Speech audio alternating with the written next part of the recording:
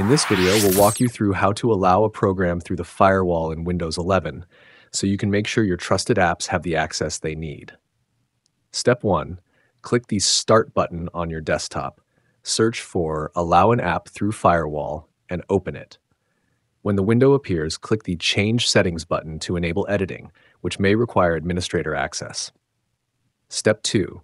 From the list of apps, find the program you want to allow. You can tick the boxes next to private and public networks depending on where you want it to have access. If it's not listed, click Allow another app and use the Browse button to locate the executable file.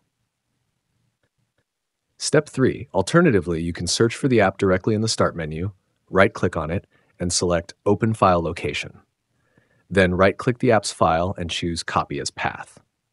Go back to the firewall window, click Browse, paste the path, and select the file. Step 4, once added, click Add, then make sure the app is checked in the list. If you're using a third-party antivirus program, some firewall settings may be locked and must be changed from that software instead. Thanks for watching, and don't forget to subscribe to Techie Dialogue for more helpful tech tips.